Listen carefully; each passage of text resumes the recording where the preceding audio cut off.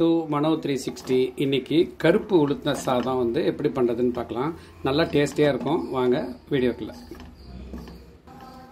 வழி ஸ்பெஷல் கருப்பு உளுந்து சாதத்துக்கு தேவையானது என்னென்னா அரை கப்பு கருப்பு உளுத்தம்பருப்பு உடச்ச கருப்பு உளுத்தம்பருப்பை நம்ம வறுத்துக்கணும்.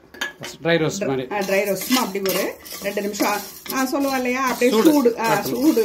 அதை தொட்டா சுடணும் அப்படின்னு சொல்லி அது மாதிரி இது சுடுற அளவுக்கு நம்ம வறுத்துக்கணும். நல்லா சுட்டுடுச்சு. தொட்டானா சுடுது. அந்த சுடுது ஒரு அந்த பதத்துக்கு வந்தால் போதும். ரொம்ப வறுக்கணும்னு கிடையாது. இந்த மாதிரி இது பண்ணாலே போதும். அதை நம்ம வறுத்து எடுத்தாச்சு இப்போ எடுத்தாச்சு. இப்போ வந்து கால் ஸ்பூன் வெந்தயமும் அரை ஸ்பூன் வந்து சீரகமும் போட்டு அதுவும் வறுத்து அதிலே போட்டுடலாம்.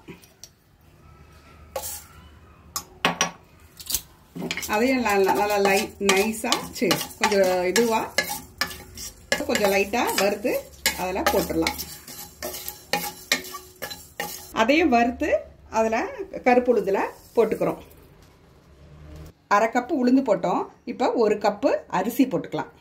பச்சை அரிசி அது மட்டும் தான் வறுக்கணும். அரிசிலாம் வறுக்க தேவையில்ல. அந்த இது அப்படியே போட்டு உளுத்த உளுத்தம்பருப்பு மட்டும்தான் வறுத்து போட்டுக்கிறேன். ஆ, வறுத்து அந்த சீரக வெந்தயம் மட்டும் தான் வறுத்து போட்டு மற்றதெல்லாம் அப்படியே அந்த பச்சரிசி அப்படியே தான் போட்டுக்கிறேன். அப்படியே போட்டு நீங்க கழுவிட்டு வந்து ஒரு பத்து நிமிஷம் ஊறலாம். ஊற வச்ச அரிசியும் பருப்பும் இது இது- இதுல குக்கர்ல போட்டு ஊற வச்ச அரிசியும் பருப்பும் குக்கர்ல போட்டுக்கலாம். ஒரு பத்து நிமிஷம் ஊறி இருக்கா ஆ பத்து நிமிஷம் ஊறிடுச்சு.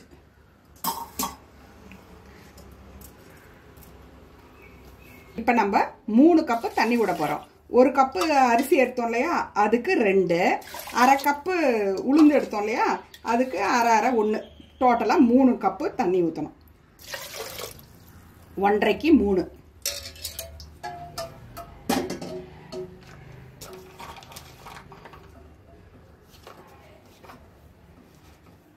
ஒரு பத்து பல்லு பூண்டு அப்படியே உரித்து அதில் போட்டுடலாம். தேங்காய் தேங்காய் துருவலை அதில் கொட்டிக்கலாம். நம்ம உளுந்து எதில் எடுத்தோமோ அதிலே அந்த அளவுக்கு அந்த அளவுக்கு தேங்காய் ஆ தேங்காய் பூ. அரை கப்பு தேங்காய் பூ போட்டுக்கிறோம். உப்பு ஒரு ஸ்பூன் போட்டுக்கோங்க. போட்டு எல்லாத்தையும் நல்லா கலந்து விட்டுருங்க.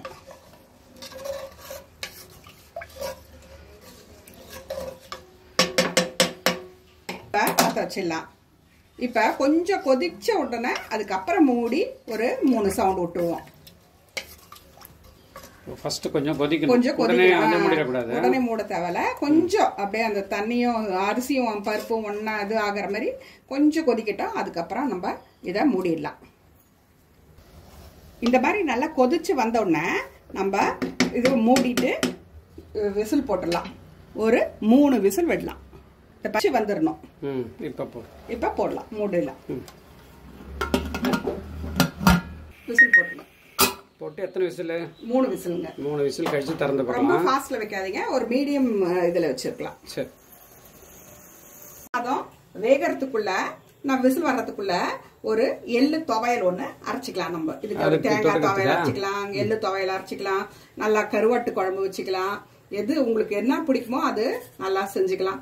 நான் நான் வெஜிடேரியன்னா இருந்தால் நல்லா கருவாடு குழம்பு அது மாதிரிலாம் வச்சுக்கலாம். சிக்கன் குழம்பு அது மாதிரிலாம் வச்சுக்கலாம்.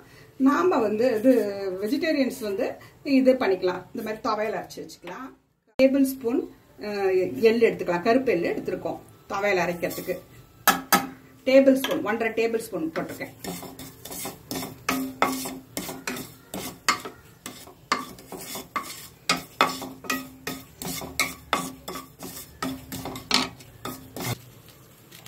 இந்த எள்ளு துவையலுக்கு ஒரு எட்டு காஞ்ச மிளகா போட்டுக்கிறோம். ஒரு ஏழு எட்டு காஞ்ச மிளகா போட்டுக்கலாம். ரெண்டு பூண்டு பல் போட்டுக்கோங்க. அரை கப்பு தேங்காய் போட்டுக்கலாம்.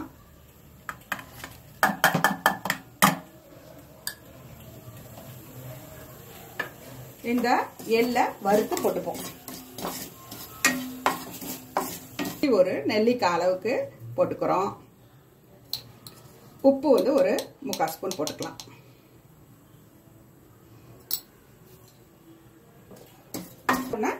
இப்போ அதில் சேர்த்துக்கிறோம் நம்ம.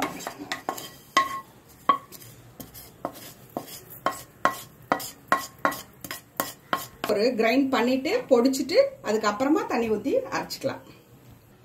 ஃபஸ்ட்டு பாருங்கள் மிக்சியில் வந்து ஒரு சுற்று சுற்றிட்டு அதுக்கப்புறம் கொஞ்சம் தண்ணி விட்டு நல்லா கெட்டியாக அரைச்சி எடுத்துகிட்டு வந்தாச்சு.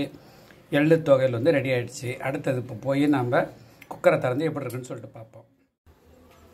ம் சூப்பராக இருக்க. திறந்தாச்சு நல்லா பொல பொல பொலன்னு வந்திருக்குல்ல? பாருங்க எப்படி நல்லா இருக்கு பாருங்க. ம்.